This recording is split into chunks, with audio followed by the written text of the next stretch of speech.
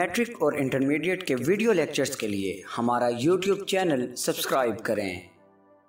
बिसमीम अज़ीज़ तलबा।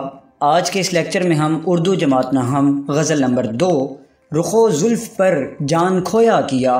इसके शेर नंबर चार और शेर नंबर पाँच की तशरी समझने की कोशिश करेंगे तो आइए बिला तख़िर लेक्चर का बाकायदा आगाज़ करते हैं। शेर नंबर चार मुलाहजा कीजिए। रही सब्ज़ बेफ़िक्र किश्ते सुखन न जोता किया, मैं न बोया किया।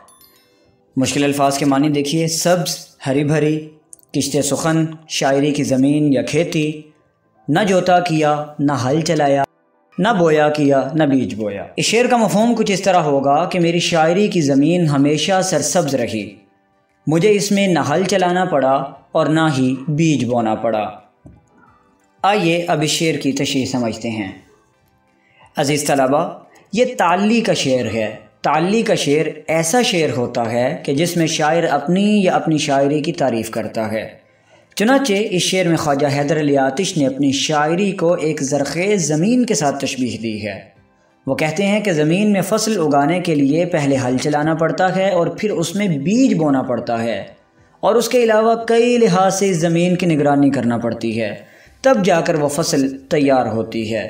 मगर मेरी शायरी ऐसी है कि इसके लिए मुझे कोई मेहनत नहीं करनी पड़ती।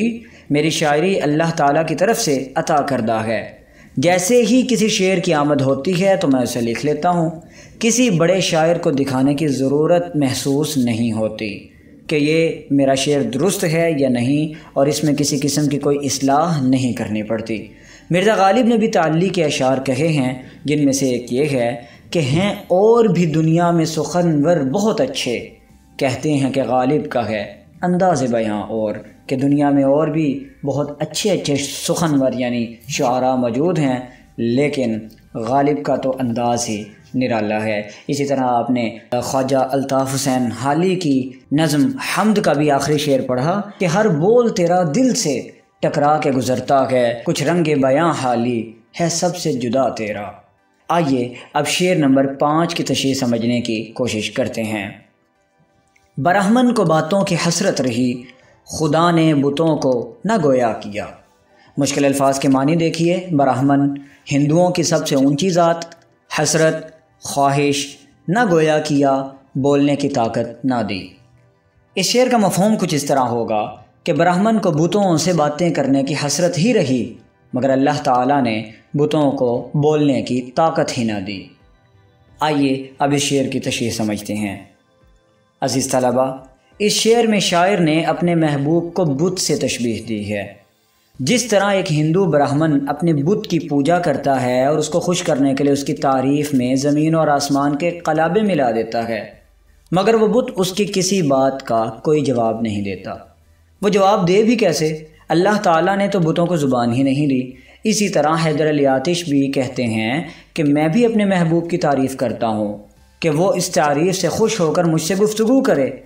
मगर मेरा महबूब भी उस बुत की तरह है, जिस पर मेरी किसी तारीफ़ का कोई असर नहीं होता। यूँ महसूस होता है कि मेरे महबूब को भी अल्लाह ताला ने ज़ुबान ही नहीं दी। जैसा कि मोमिन खां मोमिन का भी शेर है, क्यों सुने अर्ज़ मुस्तरब मोमिन?